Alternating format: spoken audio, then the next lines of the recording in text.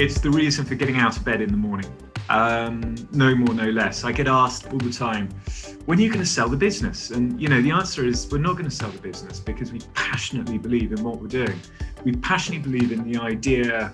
You know, I'm not going to be any happier about what I'm doing or any happier about the business, whether it's I think this year we'll turn over 90, maybe even 100 million. And I wouldn't be any more satisfied if we turned over 200 or a billion. It just doesn't make any difference to me. What makes a difference to me is the job of making sure that we're both financially and commercially successful whilst at the same time doing the right thing. It's this idea you can have your cake and eat it, and indeed you should have your cake and eat it when it comes to business.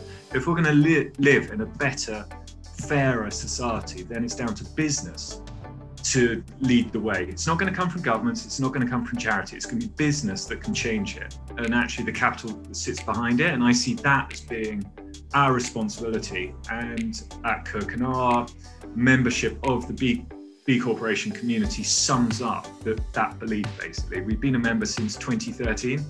And um, ever since we found that community, it was the proverbial finding your tribe. It was, it was, that was profound moment for all of us here.